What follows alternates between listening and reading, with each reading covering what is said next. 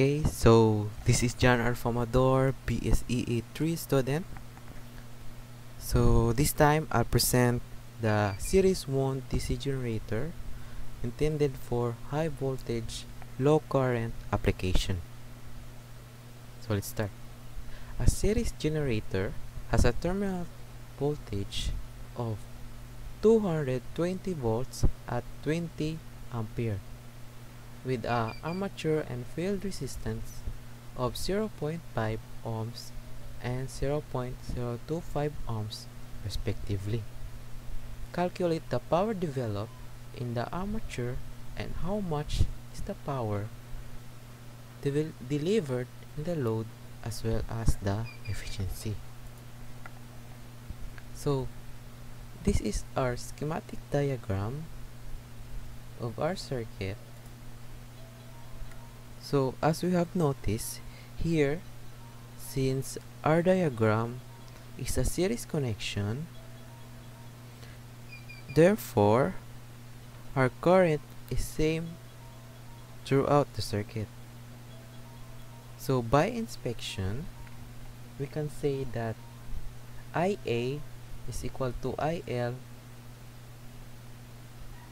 and equal to ISE so calculate for the power de developed so power developed equal to load voltage times load current. So our load voltage here is 220 volts times our load current which is 20 so we got our power developed is 4400 watts so solving for generated voltage so EG equal to load voltage plus armature current times armature resistance plus ISE RSE so since our circuit is a series connection so ISE is equal to armature current. So 220 plus 20 armature load times 0.5 plus 0.025 ohms. So we got our generated voltage is equal to 230.5 volts. So solving for power developed. So P power developed is equal to generated voltage times our armature current. So 230.5 our generated voltage times 20 our load current or armature current. So we got our power developed which is 4610 watts. So next. So solving for efficiency.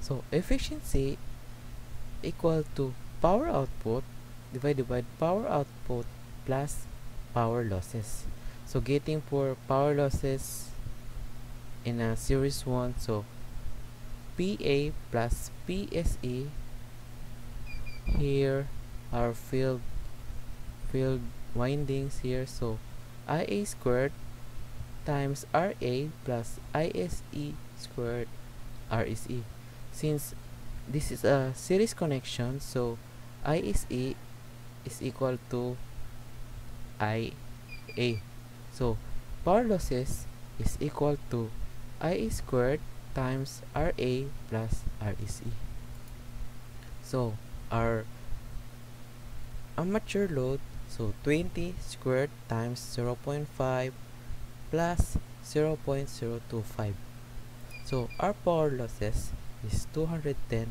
watts. So calculating for efficiency.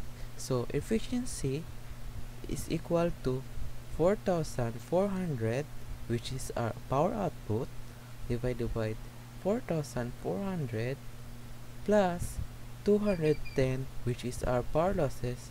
So the efficiency is 95.44 percent. So we already find our unknowns bar value. So that's it thank you for watching. Bye